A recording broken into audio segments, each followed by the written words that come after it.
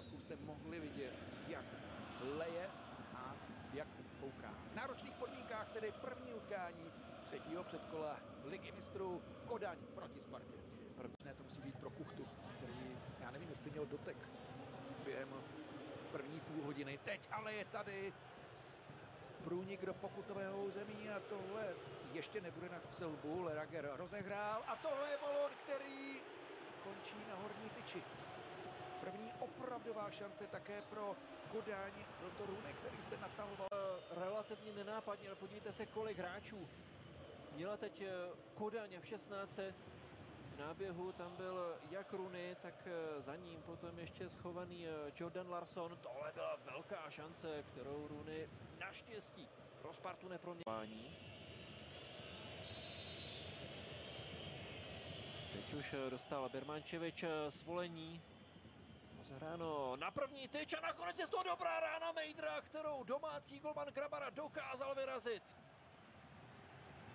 Jan Mejdr čeká v lize na gol za Spartu. Teď mohl dát velmi věhlasný, skoro až životní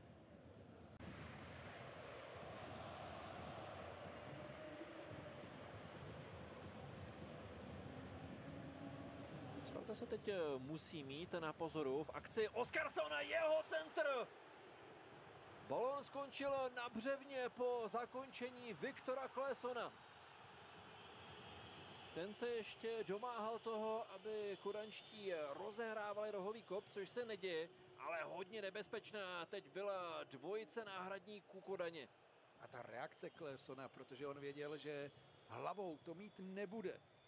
Chtěl zakončit Vindal reagoval tentokrát dlouhým nákopem. A Čury. Toho nechcete pustit do souboje. Jeden na jednoho Vindal, Lapil dorážka, Lapil Vrzdova. Nakonec balón. Prapodivným způsobem nekončí v bráně, ale Vindal teď ukázal, že bude oporou. A následné teči, rohový kop. A Čury skvělé střídání, nebylo to zdaleka poprvé, kdy se dostal do téhle akce. Na stadionu Parken budovala, teď ale nebezpečná standardka domácích. Lera Gralavičkovala byla z toho ještě příležitost, kdy tam na zadní tyči byl Ačury. Sudí viděl faul a teď uvidíme, která to domácí dobře rozeběhli. Oscarson prodloužil a Kuchta napodobil Vindala. Je to tak, nakonec to byl Oscarson, kterého si hleděl Mejdr, za ním byl Lerager. Měl jasno a teď potvrzuje, že se to ani nebude zkoumat. Je tu konec zápasu, první utkání, úvodní zápas třetího předkola ligy mistrů mezi FC Kodaní a Spartou končí bezgólovou remízou. Sparta měla v zápase několik velmi dobrých pasáží, ještě žlutá karta, kterou za protesty vidí Elias Jelert.